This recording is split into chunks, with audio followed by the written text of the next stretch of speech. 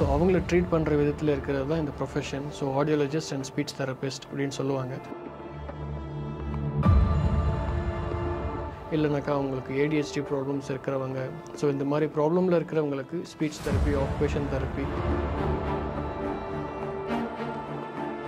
depends on severity எவ்வளோ இருக்குது அந்த பேஷண்ட்டுக்கு அந்த லாங்குவேஜ் ஸ்டிமுலேஷனும் சரி ஸ்பீச் ஸ்டிமுலேஷன் அண்ட் ஸ்வாலிங் தெரப்பியும் சரி. ஸோ அந்த மாதிரி ட்ரீட்மெண்ட் எல்லாமே வந்து எதனால் ஃபஸ்ட்டு அது வருது அது எப்படி நம்ம அவாய்ட் பண்ணியிருக்கலாம் அப்படின்னா பிறக்கும் போதே ஒரு நியூ பார்ன் ஹியரிங் ஸ்க்ரீனிங்னு சொல்லி நம்ம ஒரு டெஸ்ட் நம்ம பண்ணிட்டோம். அண்ட் இப்போ நிறைய பேர் இருக்கிற கன்சர்ன் என்னன்னாக்கா ஆஸ்தட்டிக்காக வேணும். அதாவது தெரியாத மாதிரி டிவைஸ் வேணும் அப்படின்னு கேட்குறாங்க ஸோ அந்த மாதிரி பார்க்கும்போது வணக்கம்.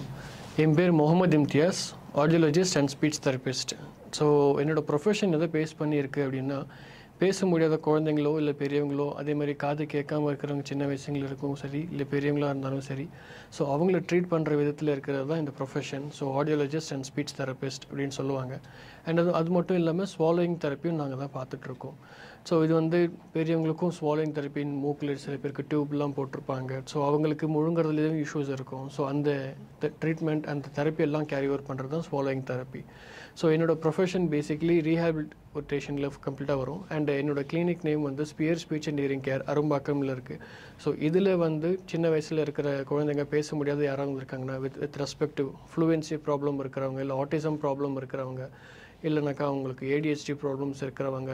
ஸோ இந்த மாதிரி ப்ராப்ளமில் இருக்கிறவங்களுக்கு speech therapy occupation therapy so அவங்களுக்கு நெசசிட்டியான இருக்கிற ஸ்பெஷல் எஜுகேஷன்ஸ் அது கொடுக்குற ப்ரொவைட் பண்ணுற எல்லாமே நான் அரும்பாக்கமில் நான் அங்கே பண்ணிகிட்ருக்கிறேன் அண்ட் எங்களோட மேஜர் ஃபோக்கஸஸ்ன்னு பார்த்தீங்கன்னாக்கா வந்து ஸ்ட்ரோக் ரீஹாபிலிட்டேஷன் அண்ட் அதுக்கப்புறமா நியூரோ டீஜென்ரேட்டிவ் டிசீஸில் இருக்கிற பேஷண்ட்ஸை தான் நாங்கள் அதிகமாகவே ட்ரீட் பண்ணுறோம் with respective Parkinson disease Alzheimer's dementia இந்த மாதிரி இருக்கிற பர்சன்ஸை வந்து நாங்கள் எல்லாமே ட்ரீட் பண்ணிட்டு இருக்கிறோம். ஸோ வித் ரெஸ்பெக்டிவ் ஸ்பீச் தெரப்பின்னு பார்க்கும்போது ஸ்ட்ரோக் வந்த பேஷண்ட்ஸ்க்கு வந்து சில பேருக்கு வந்து உதடு கொஞ்சம் ஒரு சைடில் இருக்கிறோம். நாக்கு வந்து ஒழுங்காக வேலை செய்யாது. அதே மாதிரி அவங்களுக்கு முழுங்கிறதுலையும் ப்ராப்ளம் இருக்கும். முழுங்குற இடத்துல அவங்களுக்கு சின்ன தண்ணி கொடுத்தாலும் உங்களுக்கு புறக்கேறும். அந்த மாதிரி இடத்துல ஒரு ரயில் ஸ்டூப்லாம் கொடுத்துருப்பாங்க. அப்போது அந்த பேஷண்ட்ஸ்க்கு டேப்லெட் கொடுக்குறது கூட ரொம்ப கஷ்டமாக இருக்கும். ஸோ அந்த ட்ரீட்மெண்ட்டை வந்து நாங்கள் கம்ப்ளீட்டாக வந்து one months two months depends on severity எவ்வளோ இருக்குது அந்த பேஷண்ட்டுக்கு அந்த லாங்குவேஜ் ஸ்டிமுலேஷனும் சரி ஸ்பீச் ஸ்டிமுலேஷன் அண்ட் ஸ்வாலிங் தெரப்பியும் சரி. அதுக்கு தகுந்த மாதிரி கண்டினியூஸாக நாங்கள் கொடுத்து அவங்களுக்கு ஹெல்ப் பண்ணிகிட்டே இருப்போம். அண்ட் இது பெரும்பாலும் நிறைய பேருக்கு இது தெரிய வரல இந்த மாதிரி ஒரு ஃபீல்டு இருக்குது அப்படிங்கிறதுனால. ஸோ இப்போது இந்த கேம்ப் மூலியமாக நாங்கள் ரொம்பவே கொஞ்சம் அவேர்னஸ் பேஷண்ட்ஸ்க்குமே சரி இல்லை காமன் பப்ளிக்குமே சரி அவேர்னஸ் முதல்ல கொண்டு வரும் அதாவது விழிப்புணர்வு. அந்த விழிப்புணர்வு கொண்டு வந்து தான் இப்போது நிறைய பேஷண்ட்ஸை நம்ம ட்ரீட் பண்ணிகிட்டு இருக்கிறோம்.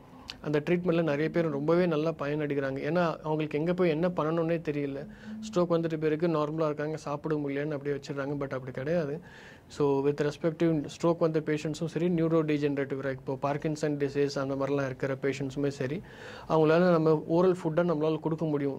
ட்ரைல்ஸ் டியூப் போட்டு தான் கொடுக்கணும் அப்படின்லாம் இல்லை. ஓரல் ஃபுட்டாகவே நம்ம ஈஸியாகவே கொடுக்க முடியும். வித் ரெஸ்பெக்டிவ் ஸ்வாலோயிங் தெரப்பியோட ஹெல்ப்போடு நம்ம பண்ணணும். அதுக்கு வந்து proper speech therapist and swallowing therapist வேணும்.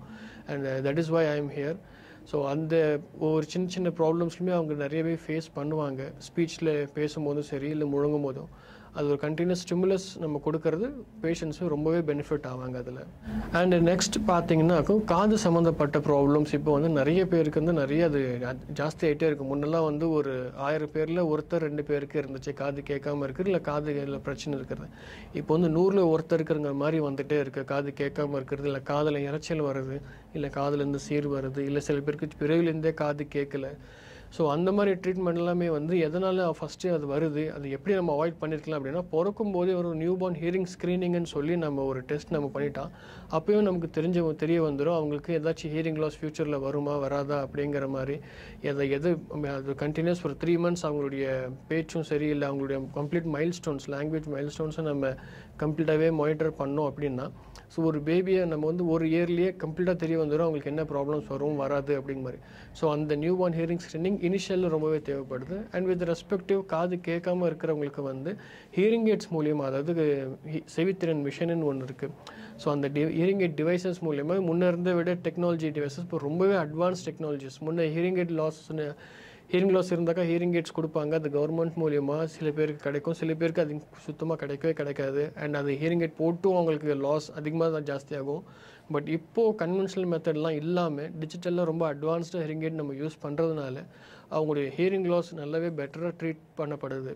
அண்டு uh, இருக்கு ஃபர்தர் லாஸும் ஆகாமல் அண்ட் இப்போது நிறைய பேர் இருக்கிற கன்சர்ன் என்னன்னாக்கா ஆஸ்தட்டிக்காக வேணும். அதாவது தெரியாத மாதிரி டிவைஸ் வேணும் அப்படின்னு கேட்குறாங்க ஸோ அந்த மாதிரி பார்க்கும்போது எவ்வளோ advance technologies with respective hearing ஃபீல்டை பார்க்கும்போது ரொம்ப நல்லாவே வந்திருக்கு.